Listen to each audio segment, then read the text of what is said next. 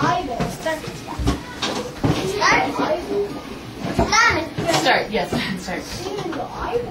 Hello everyone, my name is Jane Peck. Today I would like to tell you about what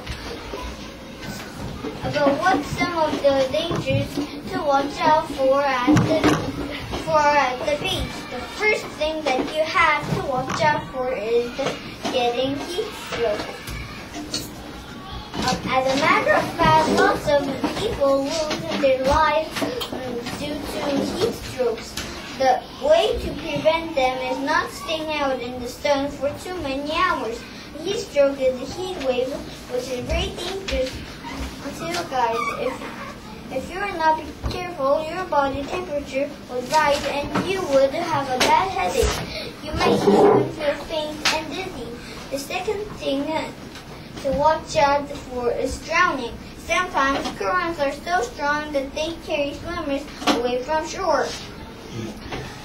The way for children to stay safe from the currents is to swim in the shallow water.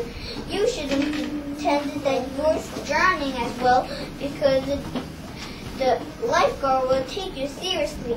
We must be really careful and keep the safety rules or you would just get rescued. The third thing be careful around is the white shark, jellyfish, and the hammerdicher. You better watch out for jellyfish because they're found near the shore. If you're not careful, you could get stung by the worst part. If you're careful, you can get stung, but the worst part is the stinger. The stinger can give us a painful sting like a bee sting. I just want to tell something to everyone, for everyone. Should know how to stay safe at the beach. Thank you for listening to my speech.